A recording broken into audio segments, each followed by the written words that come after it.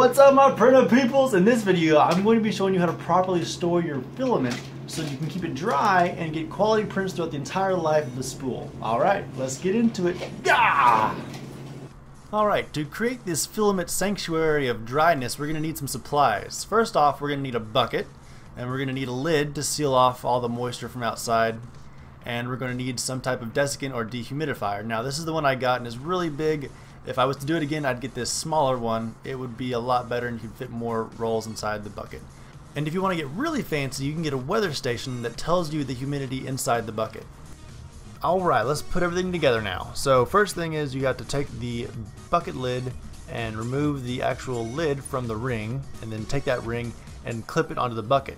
Now I had a hard time doing this with it on the bench so what I ended up doing was taking it off the bench, setting it on the ground and putting my entire weight into it and that clipped it in pretty good. Once that ring is securely clipped into the bucket, you can go ahead and load up to five full-size filament spools in there.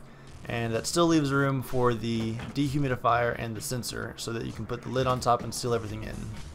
It's important to put all of your filament on the bottom and your dehumidifier on the top of the bucket because humid air is less dense than dry air and will float to the top.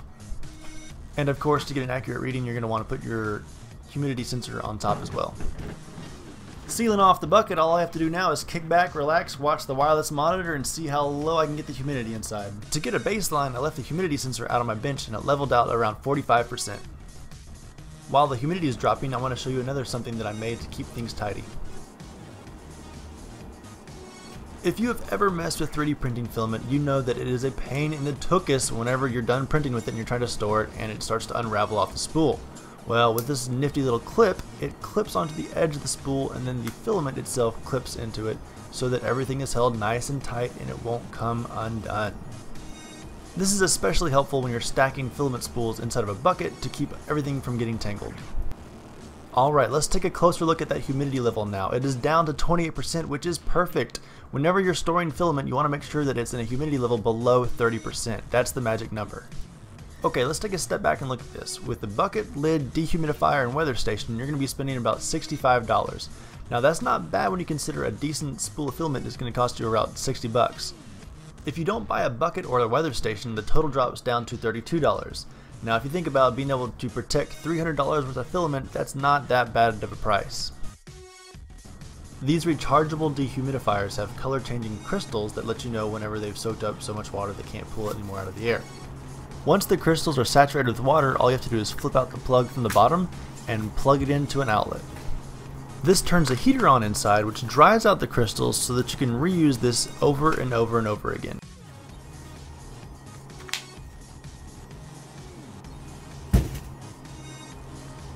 Thanks for watching. I hope you learned something in this video. Links for all the good stuff that I put in this video are down below. Also, if you have any questions, post in the comments, I'll be sure to answer them. Make sure to subscribe and like the channel, that helps me out a lot.